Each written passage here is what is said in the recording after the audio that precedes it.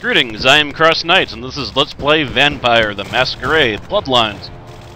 In the last episode, we continued this longer than I thought tutorial, and Smiling Jack gave me a gun. Now, guns aren't all that great in this game, but might as well use it a little bit. Oh, and since I was a wimp last time, I didn't show, uh, what is going on here. Uh, no. There's an invisible wall here. I guess they are making me shoot these bottles. I thought it was optional. Okay.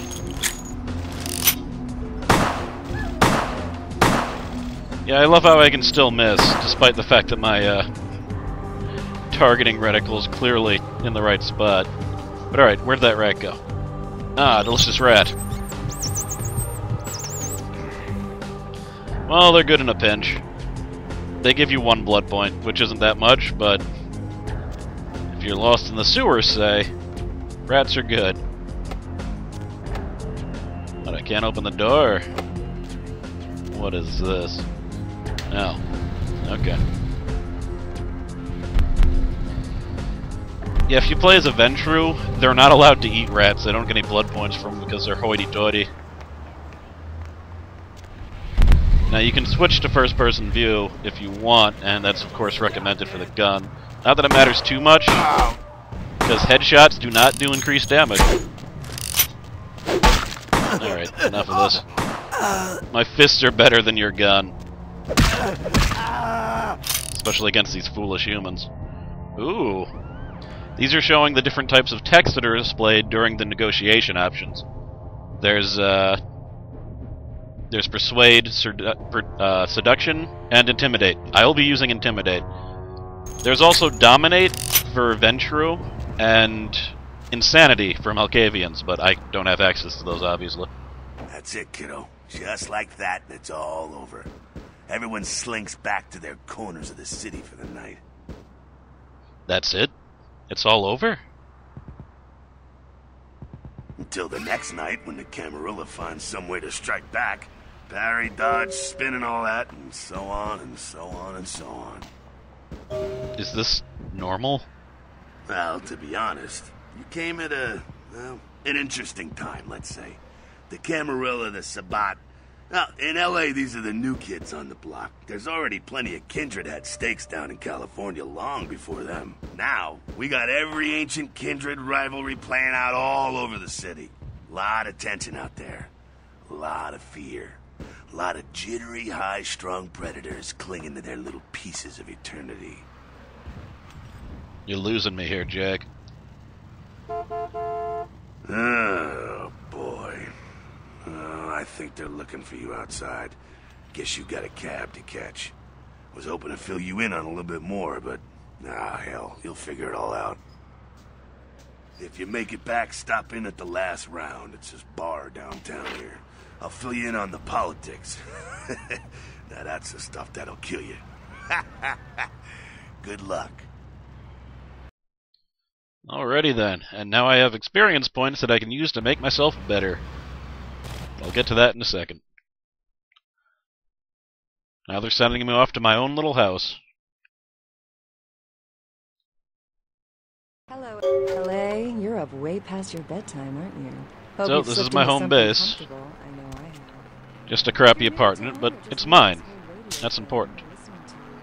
Let's pick up a pill bottle. The only girl who will spend the night with you and leave Not a huge amount of use for the pill bottles, but I'll get to that.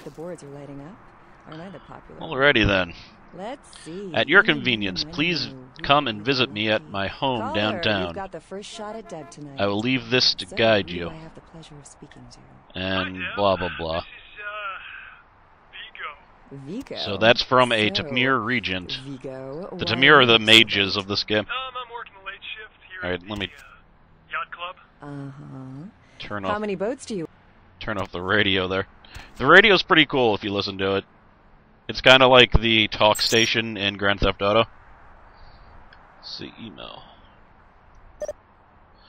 Oh good, I need a password for my own computer. Let's try to hack my own computer. It failed. Oh, my computer has decent security. That's good to know. Um, I know the password is here somewhere. Sunrise. Okay. And I also have a letter to see some guy that can supposedly help me. And he's in this town. So I will be doing that. People will send me emails periodically.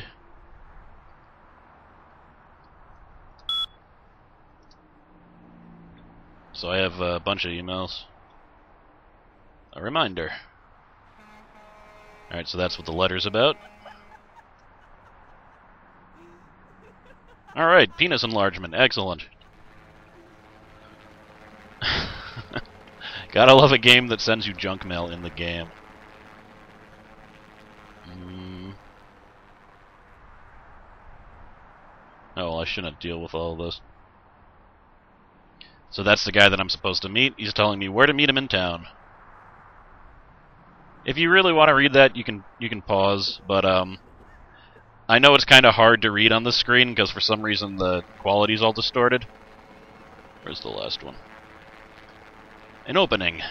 The game begins. A pawn is moved. Throughout the game, I will receive these mysterious emails from a friend. And honestly, I've beaten the game four times. I'm not 100% sure who's sending them. Blood pack. These will heal me. How nice of them to leave them in my refrigerator.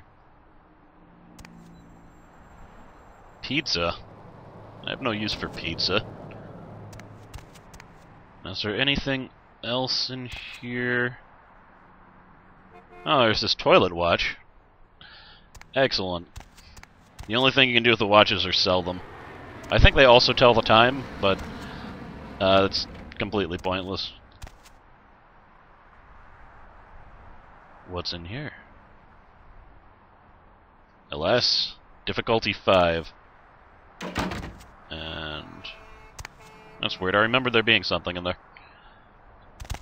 Perhaps I should do a little bit of preparation for this game, because I have played it a lot, but I I don't remember a whole lot. That newspaper just gave me a new quest. So here's my quest logs. The newspaper gave me the Carnival of Death quest. Uh, also, that regent who sent me the uh, letter wants me to meet him. And then I need to meet a human somewhere in this town who's my contact for Prince LaCroix. Ooh, it's open. What do we have here? I'll get used to the controls eventually. I'm still kind of fumbling around a little bit. Alright, you know what? I won't search for things on screen. Uh, from now on, I'll do little uh, run runs of buildings and stuff, and then I'll go back and get the items, because I know there's items somewhere. I just can't remember exactly where. If you have inspection, it's a lot easier to find them. Here's my mailbox. Uh, periodically you will receive actual mail, but there's only one or two instances where that happens. So let's explore the town a little bit. You, you got you got some change, mister? I do, but not for you. Asshole.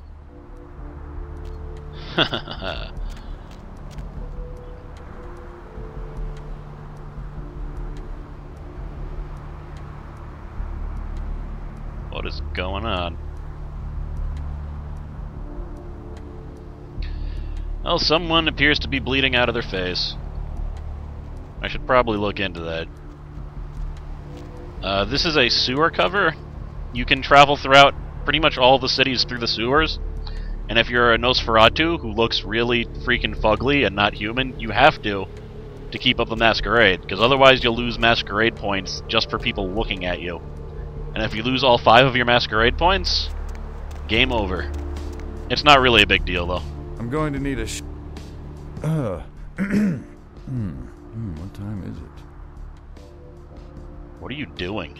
Nothing. No, nothing. Just uh, waiting for a friend to uh, get off work. He's um, a police officer, old army buddy. He, uh, he should be bringing his dog as well. It's a, a Rottweiler. Wonderful attack dogs they are. Sure, buddy. And we have my first intimidation option. You think you could spare a few bucks? I'm a little down on my luck now. Uh, sure. I guess I could spare a few dollars. Uh, here you are. Uh, good luck getting back on your feet. You know, that sure is a nice watch you got there. My watch. It's a quantum limited edition. Only 50 made in the world. Quite irreplaceable. It was an anniversary present for my wife.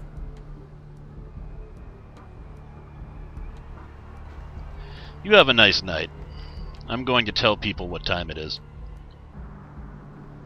Yeah, I don't feel like being that much of a jerk. Taking his watch also, even though there isn't really any penalty for doing so. It's just your choice for role-playing, and you get a little bit extra money if you sell it. But money isn't really a huge deal in this game. And there are prostitutes on the street that you can bring into the alley and feed on if you're really low on health. Unless you're a Ventrue, because they're not uh, high-blooded enough, I guess. Despite the fact that low-life thugs are somehow pure enough for Ventrue to feed on, but I guess I just didn't want to make the disadvantage too bad, but normally you wouldn't think they'd be able to feed on them either. Uh, do I want to do I want to explore a bit? Oh, I, I think I'll I think I'll go in here, talk to Mr. Bleedy Face, and then I'll move on. Well, then I'll end the video. Leaving a trail of blood, man. That was weird. Wake up, buddy. Those mothers ripped me off. I'm dying here. Oh. What happened to you? I got. I went. Uh, what is this lump? Is this my rib? Oh, holy shit. My rib is poking through my side? Oh, I'm all numb. You gotta look and tell me. It's a broken bottle. Now tell me what happened to you. Goddamn chemist. Can't trust any operators in L.A. I verified him. Organization seem reliable. Guy mixes up speed. His crew sells it. Occasionally does explosives. I set up a drop. I show up at the beach with the money, right? Four of his guys, they come out of nowhere. Junky pricks hit me with a bat. it feels like I got a friggin' horse kick in it. Those cocksuckers beat me rotten, left me for a stiff. I had to crawl to my car, crawl my ass up here. The vamp blood's the only thing holding me together. But shit, they got the money, they got the astrolite. Vamp blood. Right, you're straight off the bus. Once a month I get fed vampire blood. Heals me faster, makes me stronger than a normal human. I don't age. By looking at me, you wouldn't realize it, but I'm almost 60. So where do I find the astrolite now? Those small-time sons of bitches live out in a dump on the beach. Four or five of them. The one's got the explosives is Dennis. Got my money too, that prick. Now you can be a total jerk to this guy and threaten to tell the prince about him, and that will change the outcome of this mission. I'd say it's beneficial to be nice to him, but it doesn't matter that much. Laying in a pool in my own blood and you want friggin' directions. Right, alright. Uh, down the street, in the parking garage, stairs down to the beach. On the right. Those better not be some of my last words. Anything else? You gotta... Gotta get it back from him. Maybe reason with him, maybe break in. I don't know.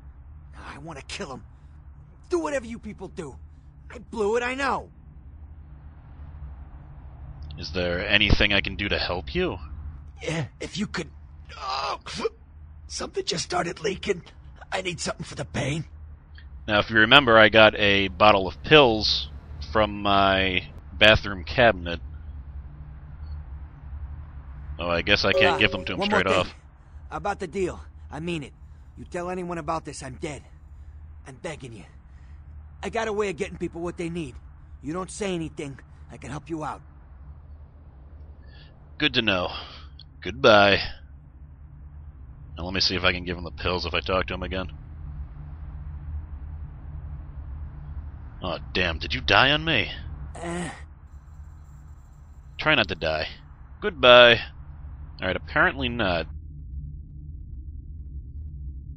You would think that would be an... Oh. Never mind, those aren't painkillers. That is estrogen. Alright, so, yeah.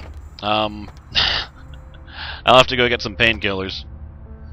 So that's it for this episode. Next time I'll explore the city a little bit, and if I have time, I might actually start the mission, but I'll probably be wandering around and, uh, getting to know some of the local color. Maybe break into a few houses. Church or something. I don't know. We'll see. I'm Cross Knights. Thanks for watching.